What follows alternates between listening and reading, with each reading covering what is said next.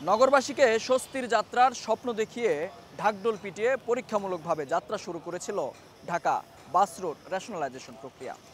তবে কথা রাখেনি কর্তৃপক্ষ, বাস্তবতা বলছে শুরুর আগেই মুখ থুবড়ে পড়েছে নগর পরিবহন।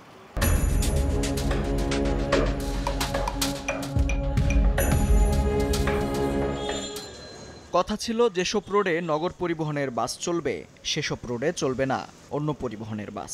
কিন্তু কে শোনে কার কথা? দু বছর না যেতেই হজবরল অবস্থা নগর সেবার। দাপটের সঙ্গে চলছে অন্য পরিবহনের বাস আর সড়কে টিকতে না পেরে নগর পরিবহনের বাসগুলো ভাড়া দেয়া হয়েছে একটি বেসরকারি বিশ্ববিদ্যালয়কে। যদিও ক্যাম্পাসের জন্য না বাট আমার মনে হয় অথরিটি বেস্টটাই আমাদের জন্য দিয়েছে।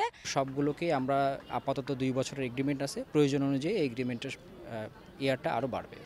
এমনটা তো কথা ছিল না। নগরবাসীর সেবায় রাস্তায় নামা বাস কেন ভাড়ায় খাটছে? এমন প্রশ্নে পরিবহন কর্তৃপক্ষের সাফ জবাব সব দায় সিটি কর্পোরেশনের। জনগণের সুবিধার জন্যই এই বাসগুলা মনে করেন যে আমরা রাস্তায় নামাইছিলাম।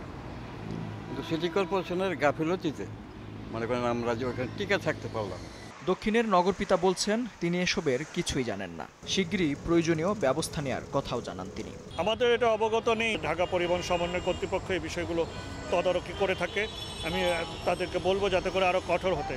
যদি কেউ শর্ত ভঙ্গ করে, তাদের ব্যবস্থা নেওয়া হবে।